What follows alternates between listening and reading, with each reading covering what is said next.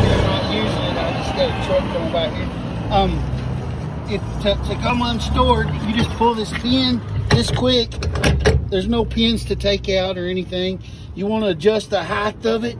You uh, pull your pin again, and you can come all the way up to the full full bumper height there. Now also, if you want to, here we are, we have triple balls. So if you want a two inch ball, you're good. If you want to go to uh, inch and uh, seven eighths ball, you go to there. Uh, if you want to go to the big ball, you go there. Okay, um, and then here is a step location. So if it's upside down like that and you want to step up on your bumper, you just step up like this and, and uh, easy access to things in the back of your truck.